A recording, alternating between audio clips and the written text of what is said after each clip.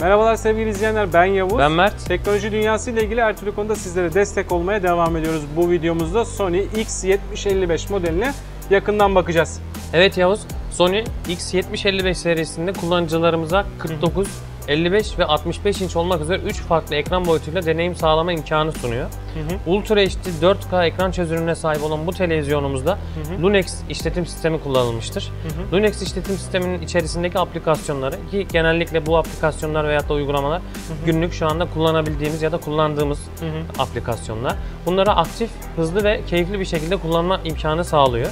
Ürünün giriş çıkışlarına baktığımız zaman HDMI girişi, USB girişi ve optik ses çıkışıyla da kablolu bağlantıları rahatlıkla yapabiliyoruz.